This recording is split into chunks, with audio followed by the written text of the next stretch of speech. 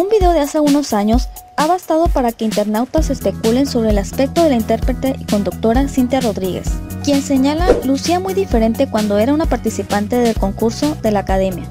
Como es conocido, la actual presentadora de Venga la Alegría formó parte de la cuarta generación del exitoso programa de TV Azteca, donde logró el cuarto lugar de la competencia. Un clip publicado a través de la plataforma de YouTube muestra a Cintia Rodríguez entonando el tema Solo se vive una vez de Azúcar Moreno, al lado de Yuridia, Yolet, Silvia Mendívil y Joana. Usuarios de las redes sociales de videos han realizado comentarios en los que comparan la imagen de la novia de Carlos Rivera en la actualidad y en su época como académica, especulando que desde entonces la joven cantante se ha sometido a cirugías plásticas. Cintia Rodríguez participa como co-conductora en la nueva temporada de la Academia, la cual inició el domingo.